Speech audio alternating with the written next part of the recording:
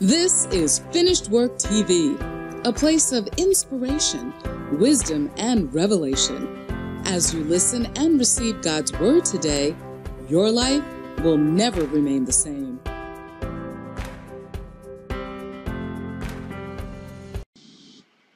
Glory be to God. This is the day the Lord has made. We rejoice and be glad. And today, I want to share with you to expect supernatural help. No matter what you're dealing with, no matter what the situation is right now, there is a supernatural help that can move you to the next dimension of your vision, your calling, and your purpose.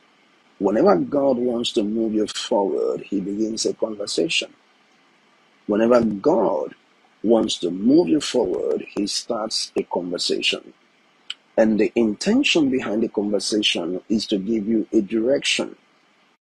The purpose of the conversation is to also give you a mindset that is consistent with His person. In Genesis chapter 12, the word of the Lord came to Abram and said, Leave your father's house to a land I will show you. His destiny began with a conversation with God. And that is the same thing that is going to happen to you and I. Whenever God wants to move you forward, He begins a conversation. And this conversation is strategic if you're going to make progress in the direction of the will of God.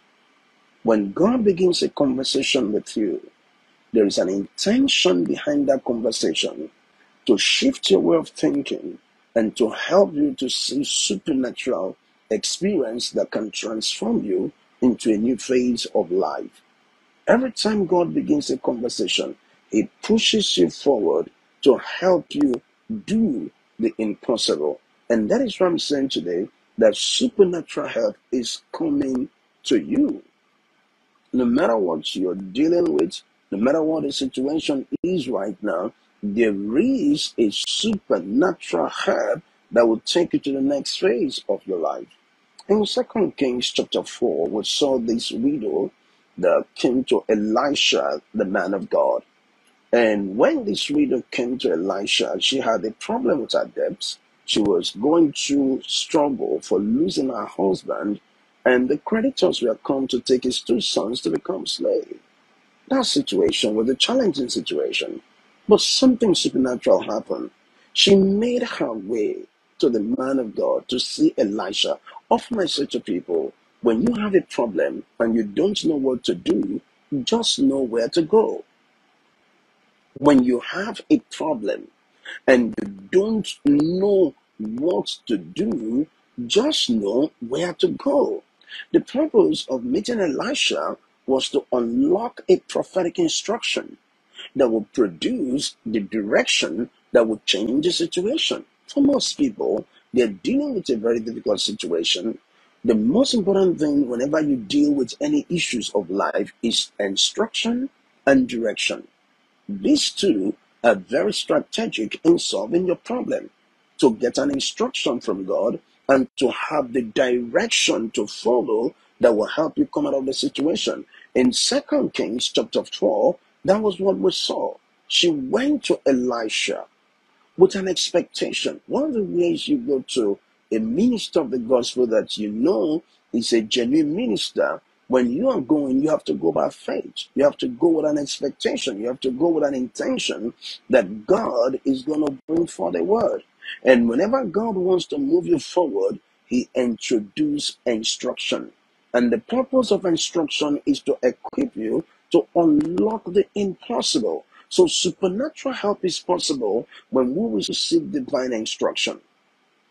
I want to say that again. I said supernatural help is possible when we receive divine instruction. It doesn't matter what you're dealing with in this season, whatever the situation may be, or whatever you're dealing with in your finances, in your career, there is an instruction that will move you to your next direction. Whenever you're dealing with any situation, get a word from God. A word from God is the resources required in thinking, in decision making, in deciding what the expectation should be. So when she went to Elisha, There was a prophetic instruction. What do you have in your house? The first thing Elisha asked her, What do you want me to do? And the next thing he said, What do you have in your house? And she couldn't see anything of value. And she said, I have a jar of oil. I have a, a jar of oil or a bottle of oil. And it, an instruction came from Elisha. The purpose of prophetic instruction is to help you see things you couldn't see when the conversation started. You couldn't see that you have a pot of oil that could be resources that will help you come out of your situation. You couldn't see that, but that prophetic instruction bringing light. The purpose of God's word is to help you see the things you already have that could help you move to the next level of your life. So when God brings forth a prophetic instruction, his intention is to stir up your faith. His intention is to help you to unlock supernatural wisdom to move in the direction of supernatural results. So Elisha said to her, Go borrow vessels. That doesn't sound like what she should be doing because they're already in debt. Are you telling me to go and borrow vessels? I came back to I came to you to tell you that we had a problem. My husband was in debt, and now the creditor is to take my two sons to become slave, and you're telling me to go and borrow vessels. One of the ways to resolve issues is not to argue with God. A lot of people, God will tell them what to do. They already have in their mind what they want to do. And that is a, that's going to be a conflict because when God gives you an instruction, it's with an intention to move you far beyond your present situation. For you to receive supernatural help, you must learn to submit to the integrity of God's word.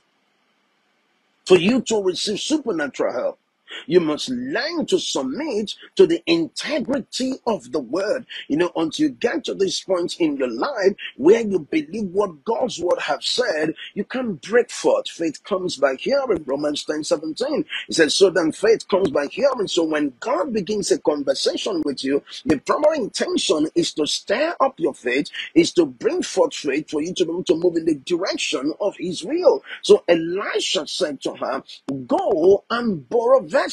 Can I say this to you? Your situation is not that big that God have no solution for it. God has solution for your situation, but you need to have an open mind to get an instruction. Whenever God wants to give you a solution, He gives you an instruction. The solution is found in the instruction entrusted to your care. So Elisha said to her, Go and borrow vessels. That prophetic instruction set the stage for supernatural help. If you want to see supernatural help, receive instructions. Go for instructions. Romans 8 14. It said, As men that are led by the Spirit of God, they are the sons of God. One of the ways you receive the leadership of the Spirit is by following divine instructions. One of the ways you receive the leadership of the Spirit is by following divine instruction. The primary purpose of prayer is to hear from God. I used to say to people that the primary purpose of prayer is to hear from God. You know, somebody said, I'm praying for 40 days. Someone said, I'm praying for 30 days. Another person said, I'm praying for 50 days. The primary purpose of prayer is to receive a word from God. If you're praying and you're not praying with an intention to receive instruction and direction, I believe you're not praying. If you are praying and you're not having an expectation to receive instruction, to receive instruction, to receive correction, to receive direction, I don't think you're praying. One of the primary purposes of prayer is to hear from God as you can know what to do about your life, about your vision, about your purpose, about your destiny. Hearing the voice of God will set the stage for supernatural help. Hearing the voice of God. A lot of people have made decisions that cost them millions of dollars. There are those who have lost millions of dollars because they made their decisions in the flesh. There are those that made their decision based on the analysis the economists gave to them. They made their decision based on the analysis that was given to them. We make our decisions by the Spirit. It is by the Spirit we make decisions.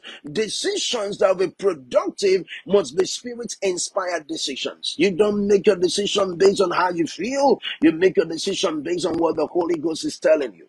I want to say that again. I said you don't make your decision based on how you feel. You make your decision based on what the Holy Spirit is telling you.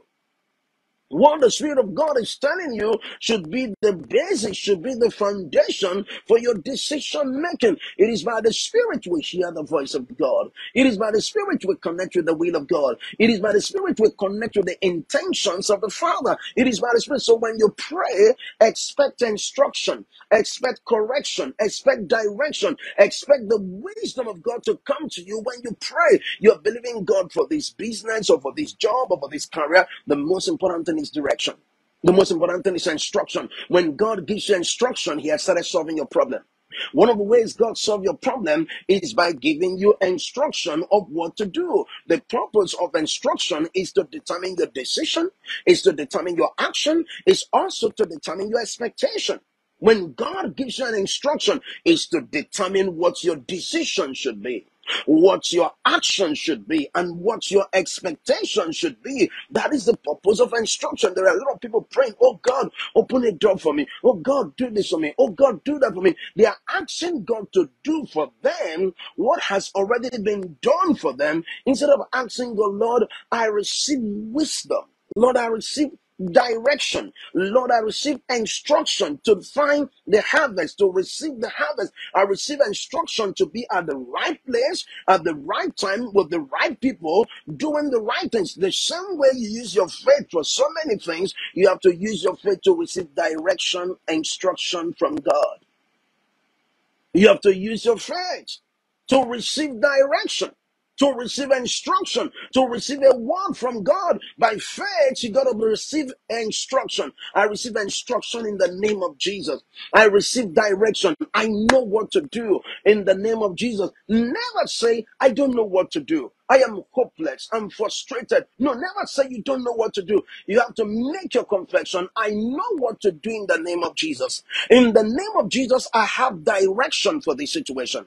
In the name of Jesus, I have understanding for this situation. In the name of Jesus, I have the right counsel for this situation. When you begin to receive by faith, Receive the wisdom of God by faith. Receive divine counsel by faith. Receive divine instruction by faith. You you you start moving in the direction of what you have received. That was why Jesus said, when you pray, He said you should believe that you have them. When you pray, so when you begin to pray, believe you have them. One of the things you need to trust God for in this season is direction. The prosperity begins with direction from God. And that direction is a product of divine instruction. A lot of people are starting businesses without hearing from God. A lot of people are going into ministry without hearing from God. A lot of people are trying to get married without getting the voice of God. It is important you include God in the things you do. It is important. Don't think you know what to do. It is by the Spirit you will receive what to do. Hear this and hear me very well.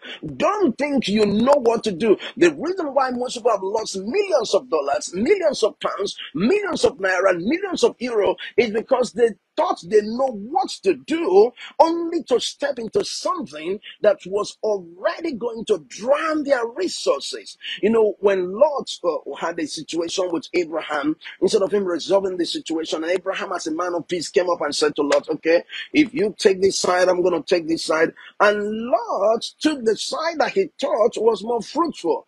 He made his choice in the flesh, and he had consequences of those choices. He lost everything. And there are people today that have lost their business, lost their ministry, lost their marriage, lost their family, lost everything because they weren't hearing the voice of God. The voice of God is the foundation for prosperity. The voice of God is the foundation for supernatural help. The voice of God is the key to unlocking the will of God. The voice of God is strategic in manifesting divine purpose. You cannot successfully step into your destiny without a word from God. Stop doing things without hearing from God. Stop going into businesses with people without getting a word from God. Stop doing things without hearing. Uh, there are things I lost because I never heard the voice of God. Yes, many years ago, I lost so much money. Bought a property that we never knew. Our local church many years ago, we bought that property and we're building, and only for we to realize the property was sold to another company before we bought the property. I had the money, but I had no direction. Money is not direction. This is why people lose their money. They thought if they have money, they can do this, they can do that, they can invest into this. People have invested into things and they saw nothing. They lost the money because they were led by their flesh. Some were led by their greed. Some were led by opinions. They never listened to the voice of the Holy Ghost. They never listened to the voice of the Holy Spirit. They were led by their emotion. Can I say this to you? The key to productivity is to stay connected to the voice of God. No matter who is talking to you at the other side of the phone, what, you, you have to check inside. What is the Holy Ghost saying? What is the Spirit of God saying concerning this issue? Dear sweet Holy Spirit, this is why intimacy with the Spirit is the key to true leadership. Intimacy with the Spirit is the key to true leadership. If you want true leadership, you got to be led by the Spirit of God. It doesn't matter who said it. It doesn't matter how they said it. It doesn't matter how it's how how brilliant the idea was, how brilliant the concept is, how brilliant they, they presented it. You got to go check it out with the Holy Ghost. You know, I had some people in my local church that came to me and said, Oh, Pastor, I made a very major mistake over my life. I know you told us not to go into things like this, but I did, and I lost so much money. The, the, the fellow lost so much of his money because he invested into this business and thinking he was going to have a harvest. Listen to this. Don't be led by prophets, be led by the Spirit. Don't be led by prophet. Don't, don't be led by prophets. Be led by the Spirit of God. If you are led by profit, you're going to miss out. If you're led by the Spirit, you're going to have abundance of profits. So be led by the Spirit of God. You're not going by what you feel. You're not going by what they said. You're not going by the things happening around you. Sweet Holy Spirit, what would you have me do? Sweet Holy Spirit, what is your direction for this assignment? Sweet Holy Spirit, should I invest this money into this business? Sweet Holy Spirit, should I loan this man this money? Most of us got into trouble because we're not listening to the Holy Ghost. As men that are led by the Spirit of God, they are the sons of God. To be led by the Spirit is the key to securing your human resources, securing your financial resources, and securing your material resources. So be led by the Spirit. If you want to receive supernatural help, if you want to receive supernatural results, if you want to see manifestations of the Spirit, you got to be led by the Holy Spirit. Wow, this is why we pray in tongues. This is why we pray in the spirit. This is why we pray in the spirit. One of the primary purposes of praying the Holy Ghost is to hear the voice of God, is to know the voice of God, is to flow with the voice of God, is to stay connected to the voice of God, to be led by the Spirit of God. The Holy Ghost is telling you, don't go into that business. Don't go with that guy. Don't go with that woman. Don't go with that girl. Don't be careful with this fellow. Be careful with that fellow. The Spirit will always get your attention if you care. If you care, the Spirit will get your attention. And He will show you the direction to follow. The Spirit will show you the direction to follow. He will tell you what to do and how He wants you to do it. The Spirit is going to tell you what to do. It is by the Spirit we know the will of God. It is by the Spirit we understand the will of God. Second Kings, we're, we're talking about that scripture. The woman got to the prophet. The prophet said, What do you want me to do for you? And then he said, What do you have in your house? And she said, Just a bottle, just a jar of oil. And the prophetic instruction is go borrow vessels. And she never argued with the prophet. She she believed that word. This is how faith works. Faith works by receiving the word of God. Your faith will work when you receive God's word and act in the direction of what you have received. That is how your faith works. Your faith walk by the word. Faith cometh by hearing, and hearing by the word of God. As you have heard, you start moving the direction of what you've heard, and what you're going to see is supernatural help. What you're going to see is supernatural result. God will help you through His Spirit. God will help you through His Word. The Word and the Spirit is the way of the New Testament believer. The Word and the Spirit is the way of the New Testament believer. The Word and the Spirit. The Spirit and the Word is the only way God leads the New Testament Christians today by the Spirit, by the Word. Any other channel have to be a channel based on the Word, a channel based on the Spirit of God. And that is how you know that God is involved in it. And I'm here to say to you today, God will give you an instruction and that instruction will be the template for changing your situation and for moving the direction of supernatural help. A word from God is what makes a difference. A word from God, when the Spirit of God begins to talk to you, listen. The Spirit can never be wrong. You know, many years ago, I have this daughter of mine, and she wanted to get married to this fellow and she talked to me about this fellow and i said okay let me check out this fellow and you know what happened? And she told me that her church her pastor said that this is the right man for she to marry. But but when i look at the fellow i knew something was wrong. But you see when people decide to believe what they want to believe you can't do anything about it. You can only have someone who is willing to listen to the holy spirit. So she said, uh, church people said that is the right man. Their prayer team in their ministry said that's the right man. I said that's not the right man for you. And she ignored my voice, married that man. No less than three months, the man left her. The man told her, I don't think I can stand this marriage. What happened? She was broken, she was scattered. I saw that.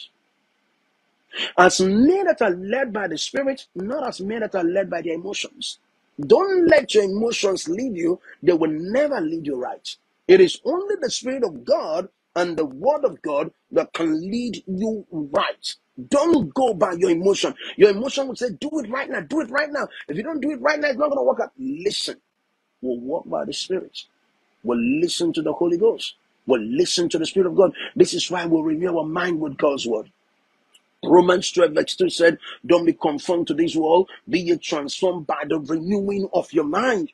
You have to renew your mind with God's word as you can be sensitive towards the thoughts of God, towards the leading of the Spirit, and towards the will of God. When you renew your mind with God's word, you can connect with the activities of the Holy Ghost. You connect with the activities of the Spirit when you begin to renew your mind. Romans 12, verse 2. Philippians 2, verse 5. Let this mind be in you that is in Christ Jesus. If you will receive supernatural help, you must learn to study the word. You must learn to fellowship with the Holy Spirit. You must learn to pray in the Spirit. As you pray in the Spirit, as you study God's word, you will begin to receive supernatural help. As you follow the instructions and the leadership of the Spirit that is made available to you, you begin to break forth into greater heights. I'm here today to say to you, supernatural help is coming to you, and supernatural help is possible. And you are going to walk in supernatural help, and you're going to see the hand of the Lord take you from glory to glory in the name of Jesus. I pray for you today that the anointing of the Holy Spirit break every yoke, break every limitation, cause you to be sensitive to the thoughts of God, to the will of God, to the purpose of God, in the name of Jesus. Receive instruction, receive counsel, receive direction in the name of Jesus. Thank you, Father, for ministering to us. In Jesus' mighty name, amen. Glory be to God. Thank you for watching this broadcast. I want to encourage you to subscribe to my YouTube channel, It's Faithman Teachings on YouTube. You can watch me every day by going to YouTube. More than 3,000 videos on YouTube. Faithman Teachings on YouTube. And also you can watch me every day by going to finishedworktv.com. Those that choose to partner with this ministry, you can go to finishedworktv.com and slash giving and give as the Spirit of God will lead you. Thank you for being part of this broadcast. You can get my books at Amazon. There is greatness in you. And 40 things you need to know about your future is available on Amazon.com. Thank you for being part of this live transforming broadcast. Until I come your way soon, don't forget this. There is greatness in you, and Jesus is coming soon.